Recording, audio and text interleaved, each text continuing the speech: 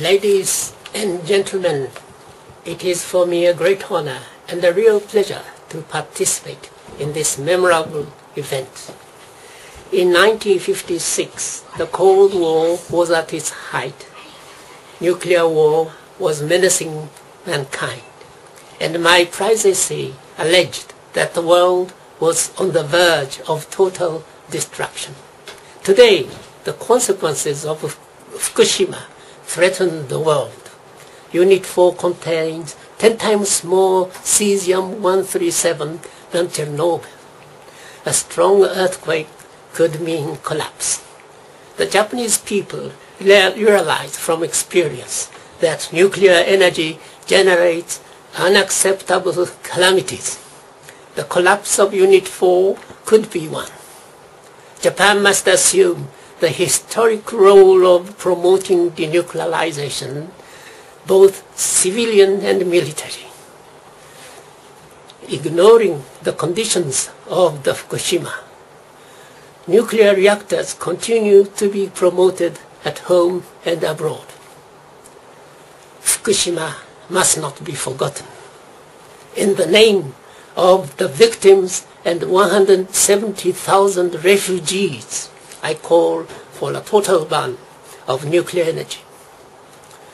The world must realize that any radioactive contamination creates immense and permanent harm for mankind and the earth.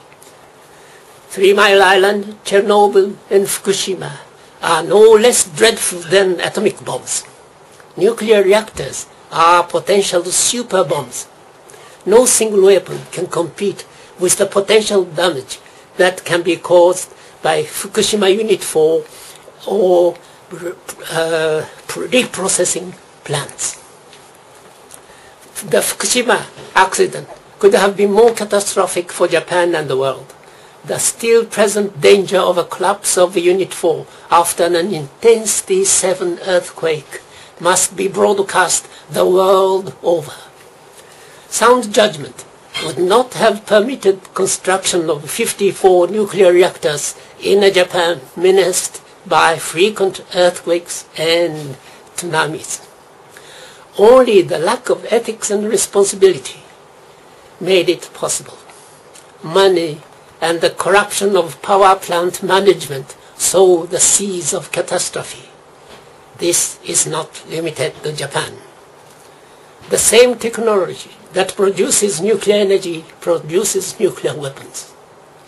The proliferation of nuclear power plants leads to the proliferation of nuclear weapons as we are seeing today in North Korea and Iran. There is no way to ensure the safety of future generations except to eliminate the use of nuclear fission technology across the planet. The lack of ethics and responsibility is highlighted by the absence of a solution for nuclear waste that threatens future generations. The Japanese nuclear village or nuclear dictatorship envisions the restarting and export of nuclear reactors, thus regaining the offensive for the Japanese nuclear industry. This is immoral. It shows no sense of international or intergenerational responsibility. Alas, I fear it will last. Japan should warn the world of the consequences of not heading towards denuclearization. Eight years ago, I predicted that Japan, Japanese electric companies would decide Japan's fate. Two years ago, at the World Congress of International Physicians for the Prevention of Nuclear War in Basel, I pleaded for mobilizing human wisdom to avert the ultimate catastrophe a nuclear calamity could produce. Sadly, these warnings did not deter my fears. Considering the worldwide consequences of a nuclear accident, countries not possessing nuclear reactors should urge denuclearization be it military or civilian. Countries already opting for nuclear energy should do so as well. Originally, Japan had a maternal culture characterized by harmony and solidarity.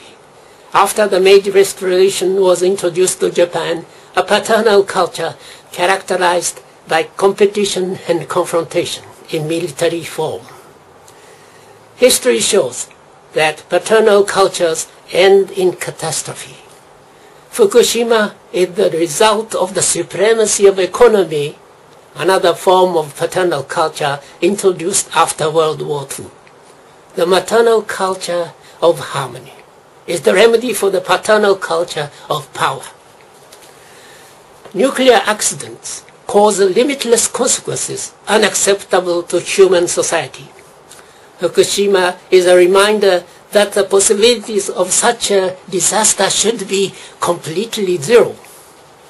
The great principle of a world without nuclear weapons and reactors should not be forgotten. The transition to maternal civilization is a prerequisite for this vision. Today, mankind faces a crisis of civilization. The true cause is lack of ethics. Fundamental ethics would prohibit the abuse and exhaustion of natural resources, leaving permanently poisonous waste and enormous debts in its wake. Global ethics requires maternal culture, respecting the environment and interests of future generations. Three transitions are necessary.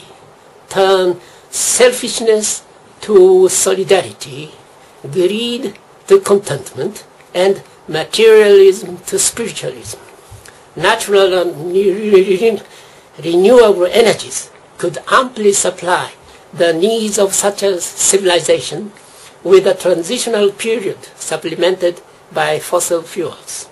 We must prepare to make the short-term sacrifices in our lifestyles for the long-term safety of mankind and the Earth without nuclear energy. The proposal to hold a United Nations Ethics Summit draws more global attention. The trinity of global ethics, maternal civilization, and true denuclearization should become a reality. President Obama's vision of the world without nuclear weapons needs to become the world without nuclear weapons and nuclear reactors. The UN Ethics Summit is the first concrete step.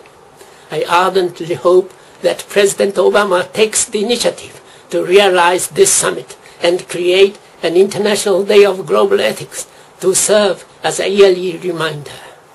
Initially, controversy over content should be carefully avoided. In concluding, let me say the following. The critical situation at Fukushima requires the mobilization of human wisdom on the widest possible scale.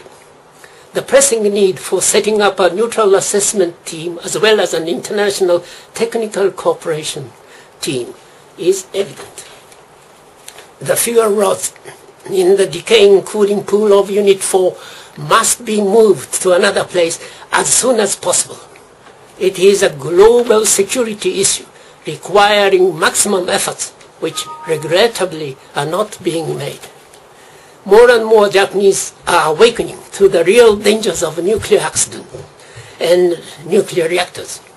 Japan is thus heading steadily towards establishing zero dependency on nuclear energy. The will of heaven and earth is my translation of providence as philosophy, protecting mankind and the earth. It will help achieve true denuclearization, civil and military, in due course. The rage of those who lost all will continue to enliven anti-nuclear movements in Japan and eventually abroad. Japan must now contribute to the realization of true denuclearization. Then the victims of Hiroshima, Nagasaki, and Fukushima will not have suffered in vain. Thank you.